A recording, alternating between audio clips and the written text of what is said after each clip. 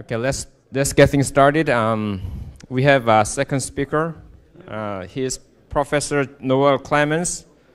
He's now holding the Bob Dorsey Professorship in Department of Aerospace Engineering and Engineering Mechanics at U, U of Texas at Austin. He got PhD from Stanford University in 1991 and joined U of Texas Austin in 1993. Thank you very much.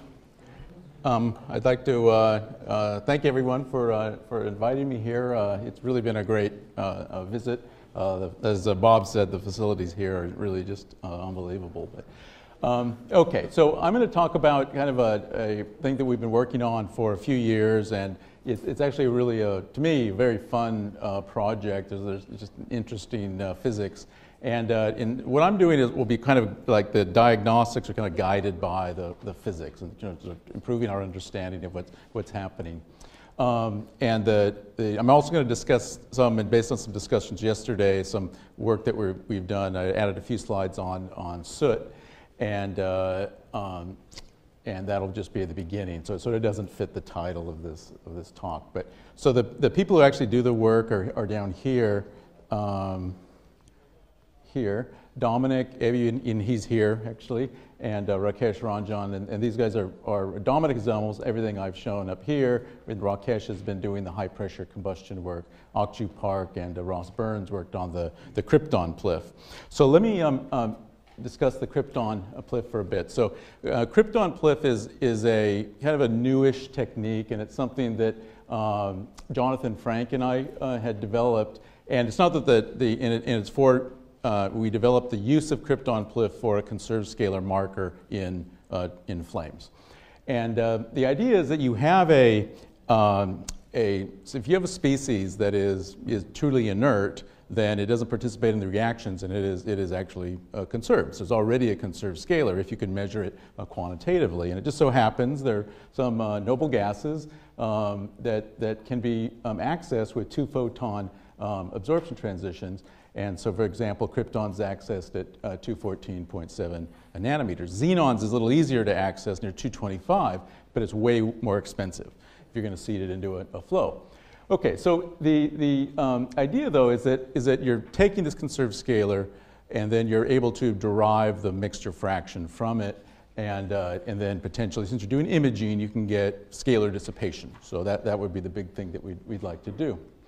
And um, so we demonstrated this, um, uh, that using Krypton uh, PLIF in um, uh, the, the uh, Sandia Dibble flame and uh, showed that it actually worked quite well. And compared it to Raman, uh, the, the classical Raman data, and shown, shown that, that it had a very good agreement. We've been doing a lot of work with sort of um, looking at the, the scalar dissipation that's derived from it, and also that's, that's looking quite good also.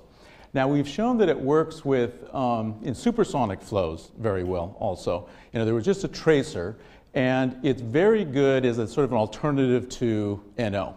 And the, the advantage over NO is it doesn't kill you.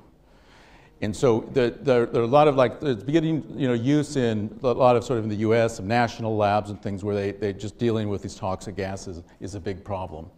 Um, it is harder to use and because it's a two photon uh, process, uh, and, uh, but it, it, it actually works quite well, as you, as you can see there. And this is a supersonic mixing um, experiment.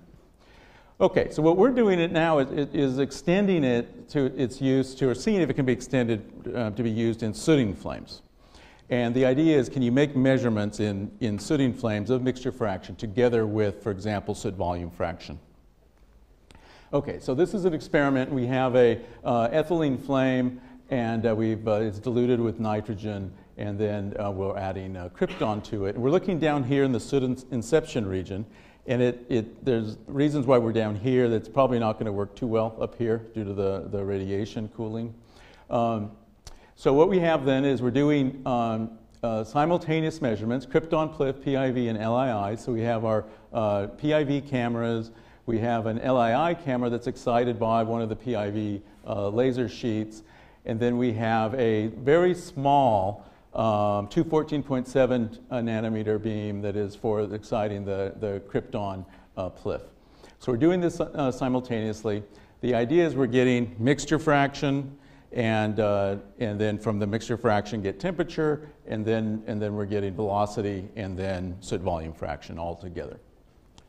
Okay, so one problem, one thing we didn't know if it, if it would work with, or we just get too much interference from PAH fluorescence. And we thought maybe it would be, be okay because it's way down on the, on the um, absorption curve. Um, but it turns out that it, it actually, there's substantial uh, fluorescence from PAH. So this is the, kind of the krypton beam is here, and this is without any krypton, and, and that's the, the PAH fluorescence.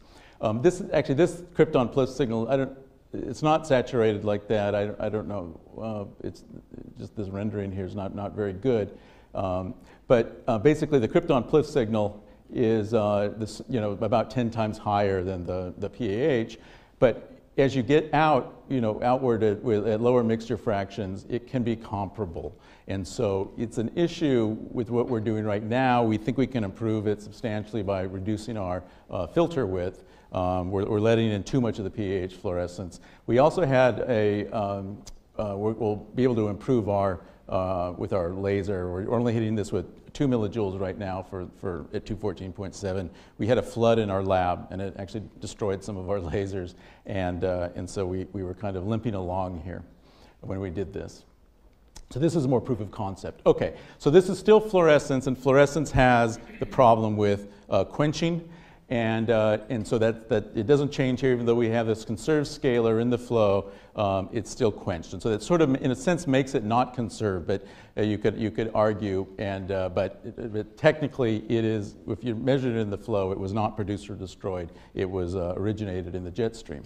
Okay, so what we do then is we measure the fluorescent signal, and, uh, which is in the flow, but then we also measure it at a reference location. That reference location is the jet exit, where, where you appear a jet fluid that's uh, cold. You know, and so you normalize all your, your signals by that reference condition. And then you, we, can, we use a state relationship, and it's derived from an opposed flow flame, and, and we, you know, we use a strain rate, a measured strain rate of 1,000 inverse seconds, but it it's not very sensitive to that. And so we can map then our normalized fluorescence signal to mixture fraction and then to uh, temperature. And uh, you know, by, by using th this uh, state relationship. Now, you do need the state relationship, and that's definitely a drawback. So it's going to have limited use, but where it can be used, it may be very effective. Okay, so just for an example, this is some data. This is a velocity field uh, here. These are just two same velocity field. This is an, an LII signal, the soot volume fraction. This little strip here is the uh, krypton PLIF that's been mapped to, using the state relationship, to mixture fraction. Now, we had to measure, we have to have all the quenching rates measured, which we, we, we've done that. And, uh, but, so when we get out of it is mixture fraction is here, stoichiometric mixture fraction is 0.128, and that's down here. This line is what's called the stoichiometric velocity. And it's the only contour I'm actually showing of, of from the velocity field. And that's something people in combustion don't use too much, but, but um, there is a relationship between the stoichiometric velocity and the stoichiometric mixture fraction that actually works pretty well for locating where the reaction zone is. People don't believe it, but, but it, it does work. Um, and so the stoichiometric velocity is just the jet velocity times the stoichiometric mixture fraction. So what we see is that the stoichiometric um, uh, mixture fraction is right, um, you know, the, uh, very similar to this stoichiometric velocity, which is kind of interesting. Actually, I didn't think it'd be that close. Um, and then uh, when we, so we can have the mixture fraction, we can then go to map it to temperature using our state relationship. And so we're saying that, you know, that essentially the flame is, is here. And uh, you see the correlation is quite, quite good, which is, as you'd expect, because you just, this is derived directly from the mixture fraction. So um, the the uh, beauty of this then is you're getting this multi you know uh, uh, parameter information um, and uh, and you can now do kind of correlations with it. Um, this is just uh, some validation. This is uh, we did some thermocouple scans um, and, uh, and then just taking, then we have the derived temperature from the, from the krypton PLIF signal and the state relationship, just showing that they agree pretty well. So we think this is a very promising technique for looking at soot in the soot inception region for sort of kind of simple uh, jet flames. Um, from this, we can get um, simultaneous velocity fields, um, soot volume fraction, mixture fraction, um, scalar dissipation, uh, temperature, and thermal dissipation. Okay, and these are things that are needed for the modeling, and so, so uh, we, you know, we're, we're kind of still developing this, but it, but it definitely uh, seems promising. Okay, so let me get to the, the, the main topic, and that's a flashback. And so um, flashback has been studied for, for many years. I mean, there, there's a nice model that was developed uh, by uh, Lewis and von Elbe in the, in the 40s. And, uh, and so essentially it's just the upstream uh, propagation in uh, premixed flames.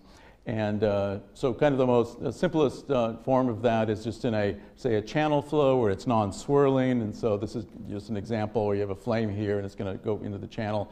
And um, very nice uh, example of that is from the recent DS, DNS by Andreas uh, uh, Gruber and Andrea Gruber and um, Jackie Chen, and in a, in a, a channel flow. Now, um, uh, Sattelmayer has done a lot of work in this also experimentally that actually precedes this. Um, and, uh, and I'll discuss some, some of their findings more uh, later on. Um, there's also uh, uh, swirling core flow, and uh, flashback is, is been shown to occur like this, where you have a, essentially a flame that's going to flash back, and it does that through the central core through a vortex breakdown, a combustion-induced vortex breakdown process. And so the presence of the flame is changing the pressure gradient and causing it to break down. And it, it sort of makes the, the, flashback easier. It affects its own propagation, and that's something that we'll keep on seeing in, in the flashback uh, process. Um, so what we're interested in is this, um, is the confined swirling flow. It's kind of an annular uh, flow where you're swirling in this annulus here. And when it flashes back, it's more of a boundary layer type. It's, it's, it's rather than in a core flow, it flashes back in the boundary layer. Um, this is a good example of that. This is by Sattelmayer and uh, Andreas here, um, where they did high-speed PIV to look at, at uh, uh, flashback.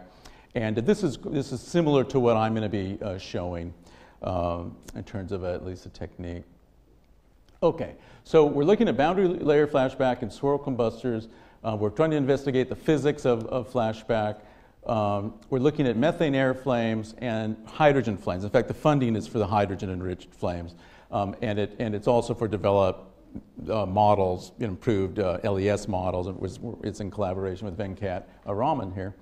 And, uh, and then we're also looking at the effect of elevated pressures. And I, you know, we, will go to 10 atmospheres, and so whether that's high or not, not, not high uh, by, the, by the standards of some of these uh, facilities um, that we've been hearing about. Okay, so this is our uh, combustor, and it, uh, it, essentially is a, a swozzle, like Tony was discussing. You have a swirl vanes with holes in it where you inject fuel, and the air is, is, is passed through here and is swirled. It goes into a mixing tube, and so the swozzle is used just to keep, keep it from flashing back farther, you know, farther back would be more dangerous. And uh, so this, this region is a mixing tube, and then here's the main uh, combustor for the, the single burner uh, configuration that we're, we're, we're, modeling. Now, the, the, uh, um, when you're using the swaddle, swozzle where you're, you're injecting the, the fuel, it's a pretty interesting problem because you have essentially a non-premixed uh, reactants down here. It's premixed up here. So when the flame is flashing back, it's actually going from fully you know, premixed to, to, to essentially stratified to a partially premixed to a fully non-premixed. So I think the model, the, the LES models that are trying to predict this, this have to, have to actually handle that. And that, that's one, one uh, uh, reason that we were interested in this configuration. For our purposes now, we are not using, we're not injecting through these holes, we're just um, passing um, fully premixed uh, reactants through the swirl vanes. And that's just to, um, to, so it's, simple, it's simpler to understand what's going on because we started doing it, we realized we didn't know if we were looking at stratification effects um, or other effects. Okay, so this is what it looks like um, in the lab, and so the, uh, this is the, the swirl vanes, this is the mixing tube. So we're looking at flashback into this mixing tube here. This is where the, the uh, flame is going to stabilize um, so how do we induce flashback? There's different ways that you could do it. You could lower the, the velocity. Um, you could, and, uh, and what we do um, is to uh, increase the equivalence ratio. That uh, if you're very lean, or if you're lean, and then you increase the equivalence ratio, you're going to have an increased propensity for flashback. And so we first start, we create a stable flame that's lean, and then we increase, kind of create a step change um, in the mass flow rate with our mass flow meter and, uh, and so then it goes above the critical um, equivalence ratio for flashback, it then flashes back. And so it's sort of something that's also can be done with the, uh, with the LES. Um, so if we want to um, see what it looks like, so I'm going to just show a movie here. So this is the same geometry here. Okay, so the okay. And I don't have a mouse. I should have tested.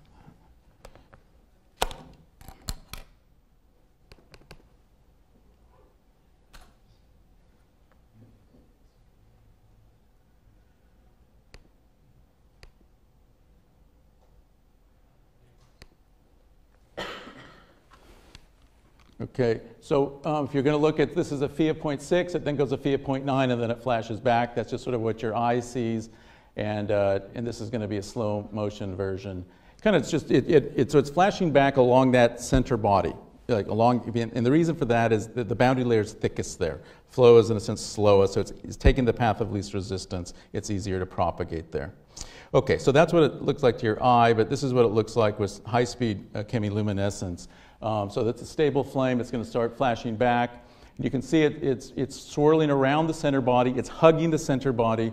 And uh, um, it kind of has these tongues that are leading, and they're following the swirl direction. They're, they're going, they're swirling around the, those tongues as they are uh, propagating. So we do um, high-speed um, PIV with chemiluminescence imaging um, to, to look at this, and um, I'm, I'm going to just uh, skip through this. Um, we're doing four, four kilohertz imaging in this case. So we use a, a, fairly standard technique. We use we seed with olive oil, and then we, uh, you know, of course, it burns up in the in the flame, and so we just take that interface and we when we use that to derive the the flame front. And of course, that's valid. It works quite well um, it, right here at the flame tip, and it's not so good down here, farther downstream. Um, just because the hot products can convect and uh, you don't know where they came from. But right, you're, as long as you're right here at the tip, you're, you're doing okay in terms of locating the flame front, at least for our purposes. Um, so this is an example where we're looking just at the exit of the, of the uh, mixing tube. And if we play this, we're going to see the flame is going to come in from the top. And it's hugging the center body there. It always has this kind of this concave shape and uh, uh, when it's moving downwards. And you'll see this kind of low velocity region in front. But look what happens to the flow outside. See, it's getting displaced as that flame comes down. The flame is a disturbance, and uh, it, is, it, is, it is causing blockage, and so it causes the flow to move out. Now, one of the, the sort of the challenges in understanding the physics of this is that what we see here, and we're seeing one plane, so we see the flow sort of deflect, but it, it, sees, it sees the flame and it can actually adjust in 3D. So maybe the most you know, important things that affects the propagation happens out of the plane. And so, and also it can even affect the flow that's inflowing from the swirlers. And so it's possible we need to monitor what's happening with the, with the velocity field, you know, while the flame is flashing back to sort of see how the flow structure is changing.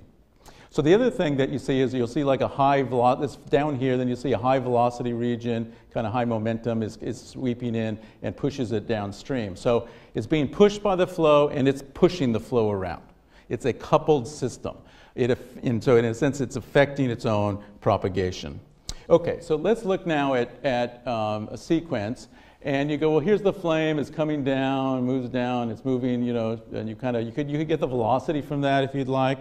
And um, if you did that, you'd be uh, totally wrong uh, for this reason that if you look at the luminosity, oops, I had to disconnect this, um, that if you look at the luminosity, that the flame, it, you, there's the laser sheet here, and um, the, flame, the flame is actually behind the center body. So you look at this, you go, there's no flame, it must be up here. And in fact, that's wrong. It's behind the center body. It's just rotating around it.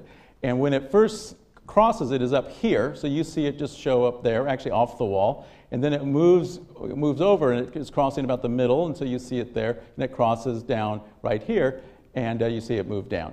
Only here is where it's actually useful for us. In other words, that we want the flame tip to cross the laser sheet. Here we have useful information. Here we have nothing. Um, nothing useful can, can be derived from this. Here, we can, for example, know what the, what the velocity is at the flame tip. We could do, look at the next frame, get the velocity of the flame front. um, we can get the displacement velocity uh, from that.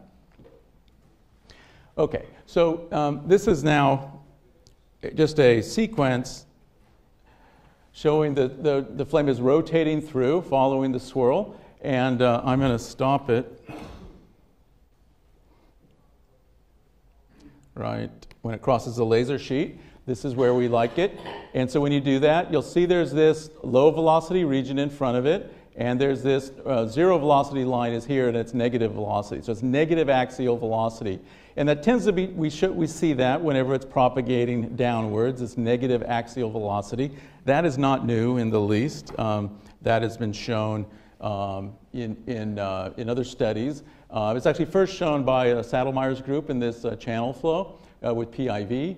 And it's, it's, a lot of work has been done in that by the, uh, Andrea Gruber and Jackie Chen. And so, and it's due to the, the blockage effect of the flame, the flow expansion. And so the, the streamlines come in, there's less mass here, so the flow has to deflect around it.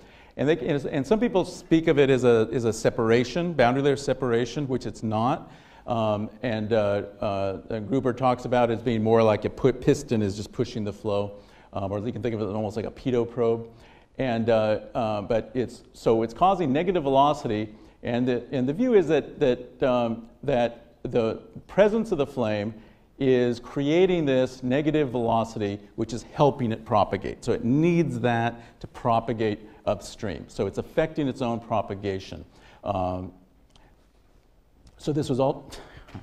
this was also shown um, here, and uh, this is in a swirling flame, and this is by uh, with uh, Andreas here. And uh, so, but in the swirling flame, you only have, or at least the one component of velocity is negative here. That's the axial uh, component. Okay, so um, now, so we're showing that they're showing the negative axial velocity. But remember, if you're talking about reverse flow, that that's actually reversed to, compared to what? It's compared to the streamwise direction. And so, and this is a swirling flow. And so the question is, if it's really truly reversed, that would mean its reverse is going back in, in, the, in the opposite direction of the streamline direction. Well, we have the data and from the three, the, the uh, three component PIV, and so we can look at the velocity along the streamline and show that it's never negative. So it's not actually reversed in the case of the swirling flow. Um, what is it? Well, think of this, this is a, a, cartoon that kind of shows what's happening. So you have the flame front, you have the normal uh, to the flame front, uh, which, is, which is where the flame is propagating in this direction. The, the, the, the swirl streamlines are coming here. The flow is then deflected by the blockage effect, by the dilatation uh, due to the flame. It's deflected downwards like this. And so it's not reversed, it's just deflected. Right? It's, it's, it feels that a blockage. But that is enough to help it propagate, most likely. Um, and then when you look at the, the, the uh, superposition of this um, flame, flame, uh, flame speed or flame uh, vector uh, on the, the local fluid velocity, you get this, this uh, green line here, green uh, vector, which is the, the direction that the flame is moving. So that's why the flame is moving in this direction as it's swirling. Okay, so let's compare now. This is, this is what the, um, the uh, methane looks like it's kind of these tongues are swirling around in the, along with the swirl, of course, in the opposite direction. Now we also did work with um, hydrogen flames, and so this is this is hydrogen methane. It's, the methane just added so we can see it. It's basically just hydrogen, 97% hydrogen, and um, so what you see is oh, oh, I'll point out that the uh, Reynolds numbers are the same and the laminar flame speeds are the same. So we got the same laminar flame speeds by going to a leaner mixture of the hydrogen than the methane. So nominally everything's the same um, except for the, this uh, composition. So, um, and what you see is actually a different type of propagation structure. So the, um, what, what happens in these tongues, there's, first of all, there's more tongues than in the methane case, and they kind of propagate straight down, and sometimes they even propagate counter to the, to the streamwise direction, to the swirl direction. And that just doesn't happen uh, with the uh, methane.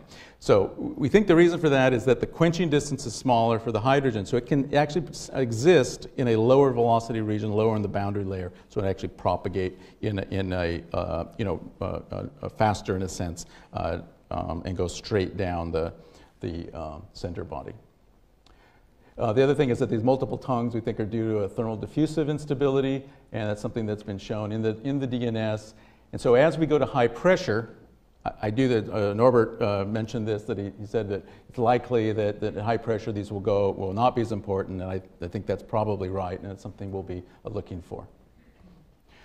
Okay, so what's kind of clear from this is that 3D measurements are, are needed for this type of flow. And so we're using uh, Tomo PIV, and uh, we do it, it's a fairly standard uh, uh, uh configuration. Um, we're bringing the laser sheet, we, we re retroreflect it, and this is from the side, we retroreflect it just to increase the fluence because um, of the low uh, energy per pulse. The laser sheet is down here, it's about five millimeters thick, so it's a thick laser sheet. There's the setup, and so this is at five kilohertz. So the PIV is at 5 kilohertz. So one thing that we did is that is we, um, we said, well, we have the 3D particle images from the reconstruction, and so can we use that to actually get the 3D flame surface? And, um, and so that uh, something that Dominic worked on for a while and, and did get it um, to work at least where it appears to be uh, work out pretty well. And it took a few steps and, uh, um, and, and, different things were tried. But basically, he has to go through some uh, uh, various processing uh, steps, and um, he does the reconstruction. And then um, one big problem are the ghost particles, and, and so trying to get rid of those um, is, is, a, is a big part of this. And, uh, but, but you essentially go from the interface between where there are particles and where there's not. And of course, the, the, with the Tomo PIV, the particle spacing is pretty large, or particle density is low. And, uh, and, and so your resolution is limited, right? So it's sort of like we take what we, we can get in this, and uh, as you'll see. Okay, so um, we then get the flame surface here, and then we smooth it, and we render it into 3D. So this is the rendered three-dimensional flame surface. Um, and let's see how well it uh, looks in an actual flame. Um, so this is a, the luminosity, and this, when this is the rendered flame surface, it kind of uh, peaks in there as this thing rotates around. Um, here's another example. And it, you're seeing the flame surface here. And uh, one thing that's interesting is um, when you look at these, that I'm going to stop it here, and you'll see here's the, the there's a, what appears to be a flame in the box, and there's nothing here. And that's actually should be true because that the laser sheet is like this, the flame is hugging the cylinder, so it passed through the, the sheet and then it went out of the plane. And so we, you know, we, we really, we only expect to see it in the middle here. And when you look at the general structures, that they're actually very similar in terms of what we're seeing with the, um, in terms of the, uh, between the luminosity and the, um, and, the, and the rendered flame sheet. I'm going to skip this. And um, so um, this is just an example where we have a, a, 3D flame sheet here, and this is a the three-dimensional streamlines. So one thing that's interesting is you see now this, there's a negative uh, region of negative uh, axial velocity that's shown uh, just upstream, and so the, you know sort of there's some issue about are, is this technique working? Is that a real structure? And you go, well, it's likely a real structure because it's, it's doing something to the flow here. And uh, what you see are the streamlines are diverging. They're, they're, you know, they are deflected by the presence of that, in a sense, just like that cartoon that, that I showed earlier. So we had that cartoon you know, years before we, we or a year before we did this. In other words, where we, where we inferred what, what happened from, uh, from the 2D measurements, but you know, it's since confirmed with this uh, 3D uh, technique. Okay, so let's see what happens with um, when we take this to high pressure. We have a, a new uh, high pressure uh, uh, combustor, and it's not super high, uh, 10 uh, bars, you can see. Um, we have kind of used, we developed really to study flashback and, and stratified flames and, and the effect of, um, of stratification on uh, flashback.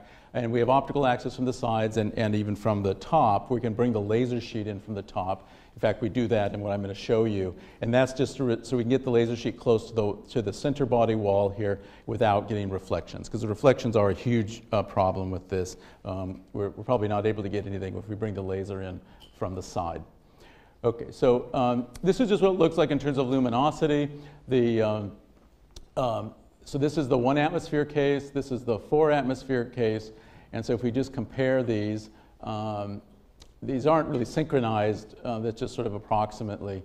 And uh, what you see is sort of the, the gross um, um, flame speed is pretty similar between these uh, two cases.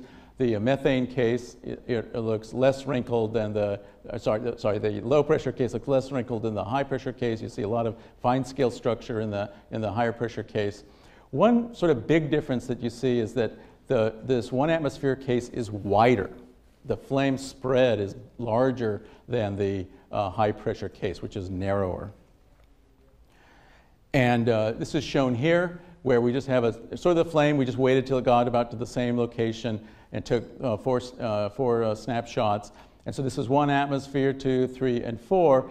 And you see that the, the flame width is actually much larger at one atmosphere than at four atmospheres. And, and that's actually expected just because the, um, the, think about the velocity profile here is much fuller, right? There's more momentum in, uh, across the, the boundary layer. And so when the, the, you have the, the flame is, is existing, it's being carried downstream, in a sense, farther than, than it was when the boundary layer is thicker. So it's just like a boundary layer, and so it has this narrower. Well, that is important if blockage, as we think, is an important part of the flame propagation mechanism.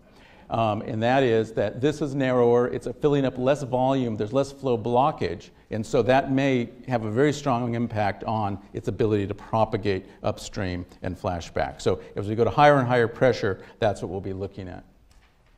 Uh, I'm going to skip this. And um, so this is some, um, uh, uh, some of the, the uh, uh, time resolved PIV in the high pressure combustor. This is at five atmospheres. And uh, so this is the luminescence. I don't know why this is playing so fast, Dominic. Why is it?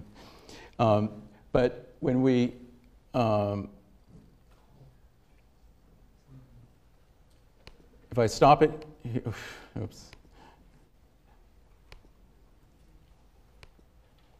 stop it here, almost done, um, that, uh, that what you see is a smaller negative region, uh, a region of negative axial velocity than we saw with, with the um, lower pressure flames. And if we sort of compare them directly, so this is one atmosphere, this is five atmospheres, that there's this little tiny region here of negative axial velocity. It's a very thin uh, react, uh, you know, flame.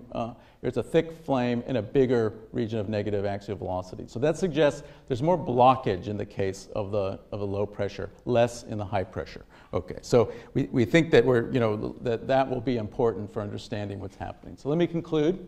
Um, so and this is a case where the chemiluminescence is actually very valuable, and it's usually not you know, because it's spatially integrated, but because the flame moves in front of the center body, we know exactly where it is in 3D space, and so it's really helpful. I wouldn't trade it for, um, you know, high-speed OH imaging. It wouldn't be as useful. Um, but um, so it helps guide us our, our planar measurements.